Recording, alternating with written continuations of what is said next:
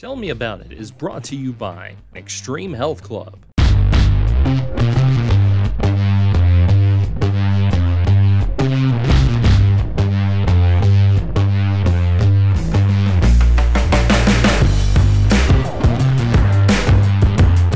Welcome to Tell Me About It. I'm James Brown. I am not here with Trevent Hayes. He has a busy day in front of him, uh, all these uh, other jobs that he has to go along with everything else that he does. Uh, so we'll miss him. I really wanted to ask him about that uh, Bell County, Hart County game because I believe he went to the game to watch it. And uh, that was the semifinals of the state in Class 3A football. Uh, and But I'll talk about that in a little while. You can catch this show every Thursday at 6 p.m. on the Glasgow EPB Channel 6, the local channel, on the Glasgow EPB YouTube, YouTube channel, one of those words, and uh, 104thescore.com, kysports.tv. Uh, so we're going to mostly talk about basketball because the basketball season tipped off on Tuesday night for all of our local teams. The season, I think, could have officially started on Monday or maybe even Sunday evening, as a matter of fact. But most, a lot of folks played Monday, not so many locally, but most of everybody played on Tuesday night. So we'll talk a little bit about those games that uh, that occurred on Tuesday night. Talk about some upcoming games that are going to be played Friday and you know early next week prior to the next of this show, and uh, and we'll talk a little bit about what we learned from the coaches as we interviewed them and what their expectations are for their teams. Uh, let's start on the boys side of things. Um, and first of all, Barren County did not play on Tuesday night, the Trojans. They were supposed to play uh, Campbellsville initially. It was a girl boy doubleheader, but Campbellsville was still in the football playoffs on last Friday. And, uh, you know, so they asked if they could move the game uh, to Thursday if they lost. And then I think it was December 11th that they won. They lost. So right now, the Trojans are gearing up to play the uh, Tigers over in Campbellsville. The varsity game, I think, tips at 6:30. So you know, it takes an hour to get there. If you leave right now, you can get there by halftime. All right. So let's talk a little bit about the boys' side. So that that game's tonight for Barren County. Their next game, uh, will they'll turn around on Friday uh, and play at Elizabethtown. So two road games open their season, and uh, then next Tuesday they will host Caverna. Uh, that both the E-Town games and the Caverna games are girl boy doubleheaders with the uh, tip times at six o'clock Central Time. I know Elizabethtown's on fast time, but you know I'm going to stick with Central Time because that's where we're sitting right now. Uh, so, you know, one of the things that Coach Warren Cunningham talked about with the Trojans was uh, replacing some of, especially the key two key players, uh, big guys in terms of Eli Brooks and Aiden Miller. You know the rebounding that they have to be replaced, and those were their top two scores. And then Carson Beckham was another senior who was kind of a three-point specialist um, and that kind of thing. Uh, so. One of the things, though, that did work out for the Trojans last year is they started two sophomore guards in uh, Tate Spillman and Bray Bewley, both of whom also played football. And so you know, one of the best things that can happen in high school basketball is ha- to have returning guards with experience, especially if they can play, and those two guys can. And they've kind of found some ways to uh, mix in some other folks. Um, Mason Bunch would come in last year. He's a pretty long guy, but mainly he shot threes. He's worked on his game inside and out in the offseason. Graham Hall is going to be leaned on quite a bit, probably inside, especially on the defensive side and rebounding. And then um, You've got uh, Will Compton, who uh, missed, I think, parts of seasons, uh, maybe last season, especially due to injuries. So he's not really had a whole bunch of varsity experience, but he's not. He's a pretty long guy as well, and and a shooter as well. So it's going to be a different look for the Trojans this year when you finally get to see them play at Campbellsville, because it's been a it's been a very um, team dominated by inside presence. I mean, you go back or at least size wise and athleticism inside. If you go back the last four or five years, or guys who would drive and score, that kind of thing. This is more of a maybe a spread them out and shoot threes kind of team, which is I don't think Warren's really had one of those while he's been coaching at Barren County. So it's a it's a different probably a different look, probably a moving a little bit faster than they have, just because you're not you're having to spread out that scoring quite a bit, and you've got a couple of guards who both can drive and shoot pretty well. So it'll be interesting to see how they do uh, with Campbellsville and Elizabethtown. Probably two very different games, and then of course next week with Caverna. Um, talking about the Colonels, they opened the season with uh, an 83-34 win at Fort Knox on Tuesday. Jalen Crane had 34 points. He had five threes in the game.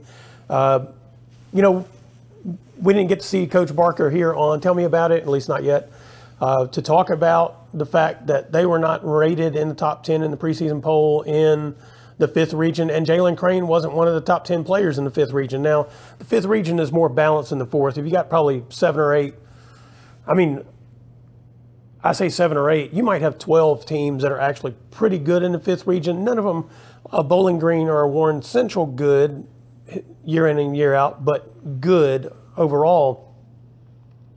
And so uh, I think that's that's may have an impact on why nobody, the, none of the coaches in in the fifth region voted uh, in the top ten or Jalen Crane as a top ten player, but I think he probably is, and I think they probably are too.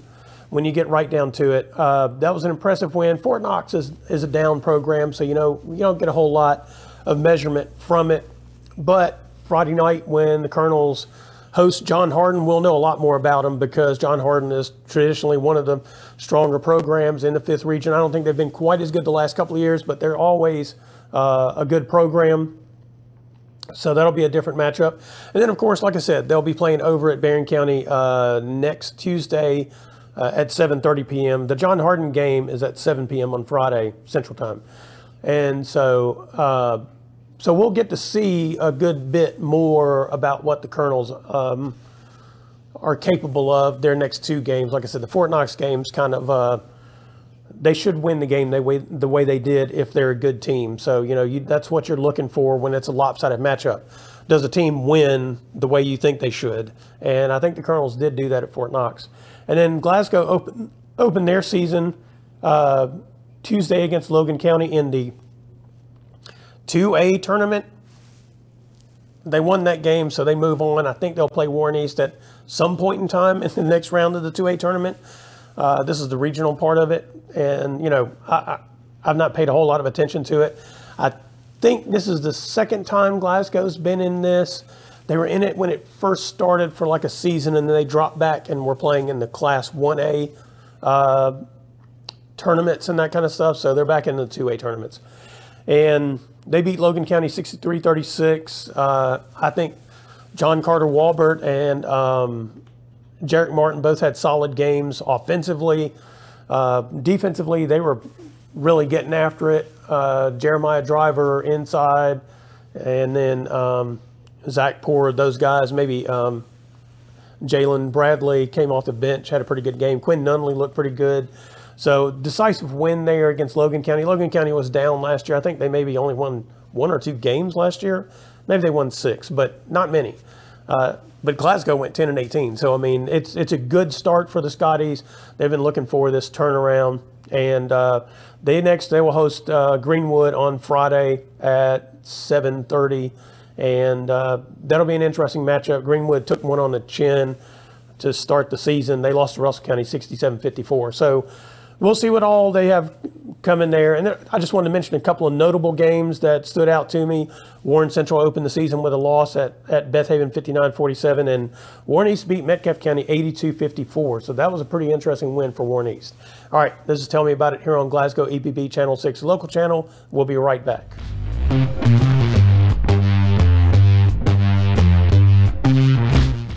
Extreme Fitness has doubled in size now, with over 8,000 square feet of co ed weights and an upgraded 90 degree saline therapy pool. The Extreme Fitness campus also holds the exclusive Extreme Fitness for Women complex and Extreme Blend smoothie bar. You have to experience the variety of classes to realize the impact they have on their clients.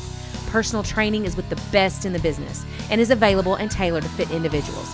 So start your journey today at Extreme Fitness and Health Club.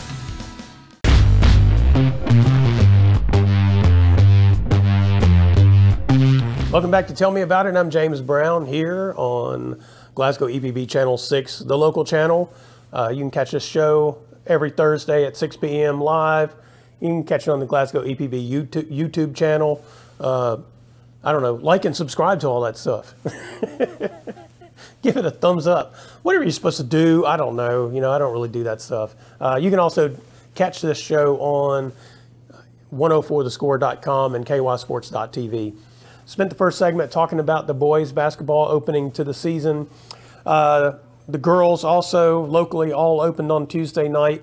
The the Barren County Trojanettes did get their game in.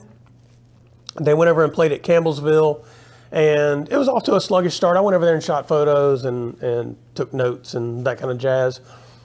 They got off to a little bit of a sluggish start offensively. They were down nine to two, and you know I could tell early maybe the even though they've practiced and they've had months without Katie Murphy, it was the first live action game that really counted um, with her out due to injury, and I could tell there was a bit of an impact there in terms of probably uh, early defense, in terms of pressure defense and that kind of thing, and probably just running the offense in general. I mean, you can't take a four-year starter out of the lineup and, and expect it that first live action to, to run seamlessly. I'm sure Coach Piper Lindsay was like, look, we've been working on this. You guys have got to do better than this. But they were down nine to two early, gave up a couple of threes, and then um, it's kind of like they they got it worked out. They figured out exactly what they were trying to do defensively, and they really took over the game after that. They went on a uh, 13 to 2 run to finish out the first quarter, led 15 to 11 after one. The second quarter was, you know, they were they were in control throughout the second quarter. They had a long stretch where they just did not score in the second quarter, and that kind of that allowed basically Campbellsville to hold, hang around in the second quarter. They blew it up in the third quarter. Um, they outscored Campbellsville. I think it was 24 to 8 i think is what it was in the second in the third quarter you know they really got to clicking moving the ball hitting people in the lane with easy layups, uh, forcing turnovers. Um, the pressure really ratcheted up, and you know it was that generated all a lot of their offense. They didn't have. They didn't. They didn't wind up running a whole bunch of half-court sets against uh, Campbellsville just because Campbellsville um, would turn the ball over and kind of give them easy baskets. But when they did, you know, they found Taylor Strange inside. I think she finished with uh, 14, I think is what it was, and Abby Varney had 21 to lead the Trojanettes. And I would say she had a quiet 21 because there was no stretch during the game where you were like, oh, she just caught fire. She just was steady throughout. Like I said, they won the game 63 38 in the end. Uh, and, you know, that was uh, probably a good game to start with. Now, Friday night, they will uh, play at Elizabethtown, 6, 6 p.m. Central Time that's going to be a different animal for them. I don't. Elizabethtown's not the Elizabethtown of say five years ago when they were the class of the fifth region. Bethlehem is that team now, uh, but they're always good. They always have good players, and it'll be it'll be a different matchup for the Trojanettes. It'll be a good second game for them to see where they are. I do believe. And then, of course, next week, next Tuesday, Barren hosts Caverna. Uh, the Caverna girls opened the season with a win at Fort Knox, um, 48-35. I'll be honest with you, I didn't know what to expect from them. They have a new head coach, and their two top players from last year graduated, um, especially, I mean, Tavi Gonzalez and Kayleana Richardson uh, were both six feet tall or taller, so they don't have anybody that size on the team now. And so it's a much more guard-oriented team. I think they have some pretty good young guards, uh, but you, you know, you change coaches, you lose the players that kind of dominated possessions last year, and you don't know what you're going to get. And so I, I, was pretty impressed by their win at Fort Knox. And now, when they play um, at Barren next Tuesday, that'll be different for them. And then, of course, they host John, John Hardin also on Friday night. Uh, that game starts at 5:30 p.m. at Caverna, and John Hardin is uh, a pretty scrappy team. A lot of times, I don't know how good they are this year. They they've they were pretty good last year, I believe, and so that'll be a different uh, matchup for them. John Hardin will be probably more athletic and you know, they'll have some size. It'll pose some challenges Caverna probably did not face against Fort Knox. So good, good second game for the Lady Colonels. Um, and like I said, the Trojanettes got off to a good start. Glasgow lost a heartbreaker in overtime to Logan County 41 38. They were up late in that game.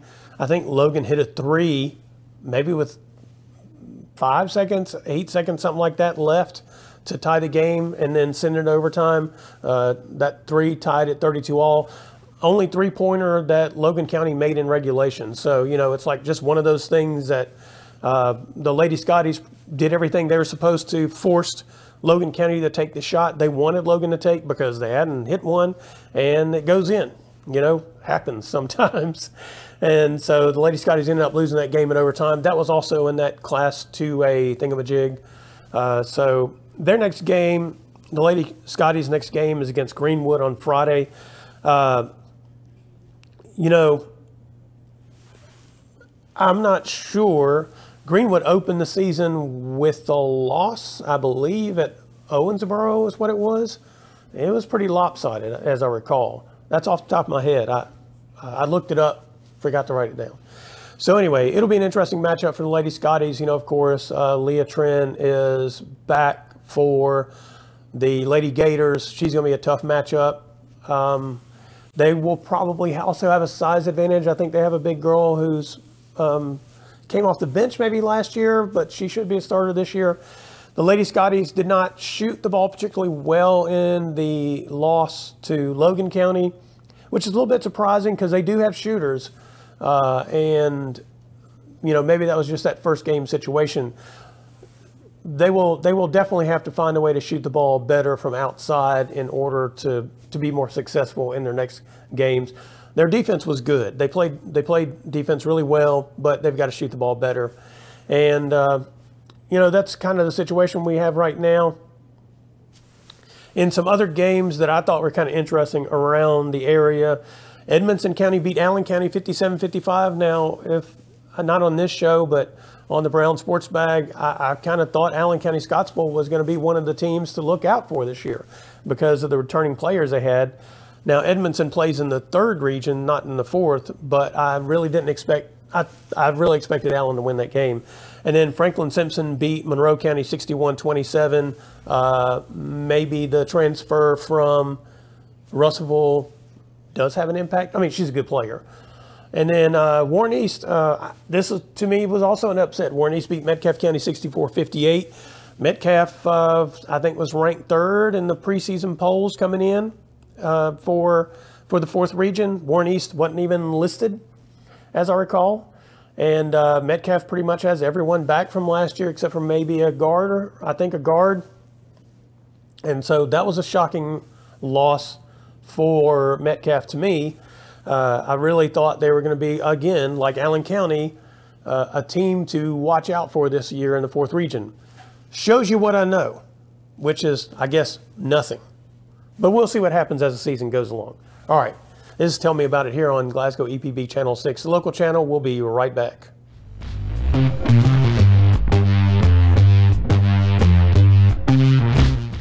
Extreme Fitness has doubled in size, now with over 8,000 square feet of co ed weights and an upgraded 90 degree saline therapy pool. The Extreme Fitness campus also holds the exclusive Extreme Fitness for Women complex and Extreme Blend smoothie bar.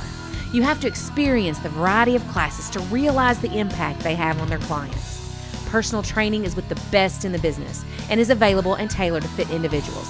So start your journey today at Extreme Fitness and Health Club.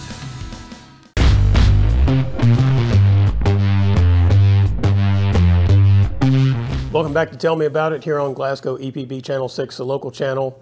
You can catch the show live every Thursday at 6 p.m. In this final segment here, we're going to give a little recap of the state football semifinals. I might discuss the fact that um, the football playoffs in Kentucky are pretty boring, but we'll get to that perhaps. Let's start with this. Uh, the number one running back in the state of Kentucky, his name is Daniel Thomas. He plays at Bell County. Apparently, prior to this year, he was a lineman. At least He has the number four, or I think is what he wears. Uh, and on the Bell County roster, he's listed as OL slash DL. All right. I'm guessing maybe everybody should just convert their linemen to running backs and then make life different. Anyway, he's broke the record in the state of Kentucky for rushing yards in a single season and I think touchdowns. And against previously unbeaten Hart County on Friday night, he ran for 235 yards and four touchdowns. And everybody I talked to who went to the game, I didn't, uh, said uh, he was for real. Like he hit the hole hard. He was a physical runner and he was also uh, fast.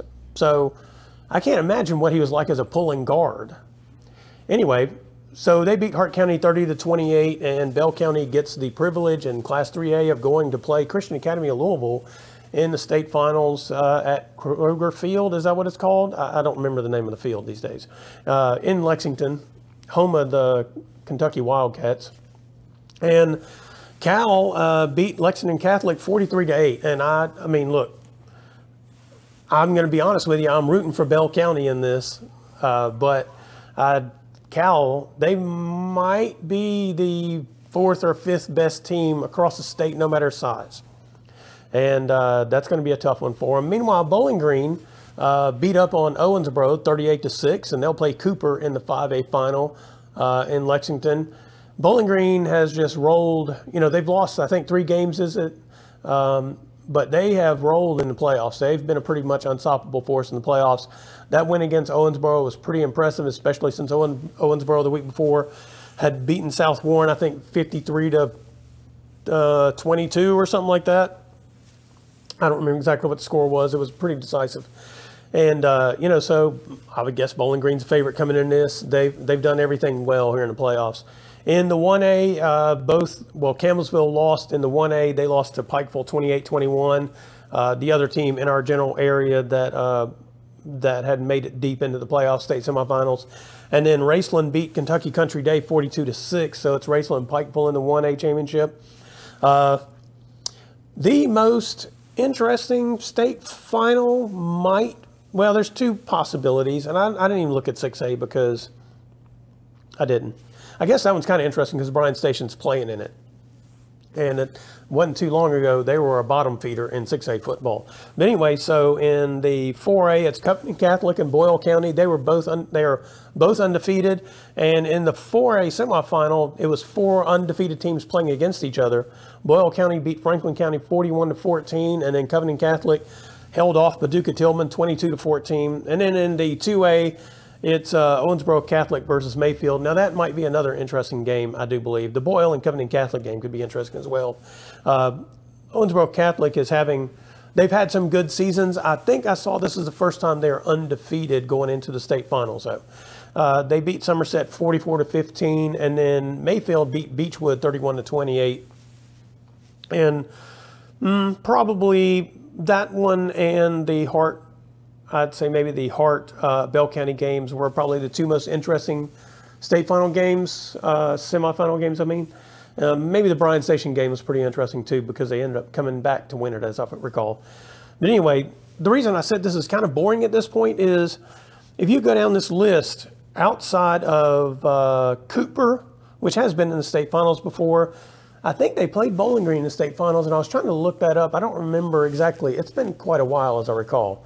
And then um, Bell County, they were a powerhouse when Dudley Hilton was there, late 90s, early 2000s. He moved and retired, went to Taylor County, but he came back to Bell County, I don't know, it's probably been six or seven years now. And this is their second turn in the state final since he's come back. So that's kind of interesting. Um, but otherwise, I mean, you have Raceland and Pikeville in 1A. Feel like they're there every year. Uh, you have Covington Catholic in Boyle County in the 4A. No matter what classification they may be in, seems like they're there every year. Uh, Owensboro Catholic had a good run late 90s through the early 2010s, uh, but then they had, you know, they were just weren't, they were getting the playoffs, but they weren't getting to the state finals. So they're back. Uh, meanwhile, Mayfield beat Beechwood it, I think they may have played each other in the state finals last year because of the RPI situation. So,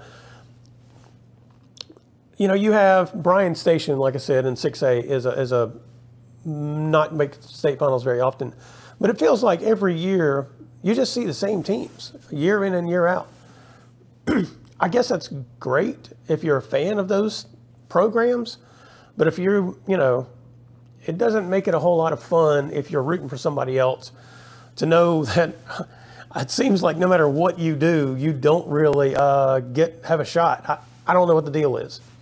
I mean, obviously, tradition plays a role because these programs uh, and their coaches and their players probably have a certain motivation to maintain that success. Uh, obviously, in some cases, they attract talent from their areas to uh, join their programs. And, you know, that doesn't mean that other programs can't rise up. I'll point out Bryan Station once again. Hart County in the last couple of years. You know, Union County has been a team that's uh, been getting close the last couple of years. But I don't know. I don't know if there's anything to be done about it. I mean, what do you do? You got to beat them. You got to compete. Uh, but as a person who covers sports, you know, writing Covington Catholic back in the state finals once again, not exciting. Mayfield playing in the st- for a state championship once again, not really exciting. Uh, I don't know. I don't know what to tell you about it. If you're a fan of one of those programs, good good on you. But if you're not a fan of one of those programs, then you know, it's kind of a I don't know, kind of a downer in my opinion. You all may feel feel differently about it. Now, I will say this when you are covering a program that pulls off one of those upsets, now that is monumental. And then they go to the, that usually happens in the regional final, sometimes state semifinal. Then you go to the state final and you get mollywopped by the other one showing up. And I don't know that the, the RPI situation is obviously not um, allowed for more teams to get to the state final. It has made some matchups in the regional round and maybe the state, state semifinal round that may have been matchups between the actual two best teams. I guess we'll see, you know, because the question is if Mayfield goes and beats Owensboro Catholic, especially they beat them handily, then Mayfield Beechwood was really the state championship game. Uh, the 4A is a little different because you had four undefeated teams and they've all been good at some point in time. In the 1A, you know, I mean, Raceland Pikeville is probably the two best teams. In the 5A, Bowling Green looks like they're the best team. And, uh, you know, Cooper pulled an upset really to get there. And so I guess maybe that's uh, something to pay attention to. But anyway, good luck to all the all those teams at the state finals. Go Bowling Green. Billy Lindsay is over there collecting rings from the Purples. All right, this has been Tell Me About It here on Glasgow EPB Channel 6, the local channel. We'll be back next Thursday at 6 p.m.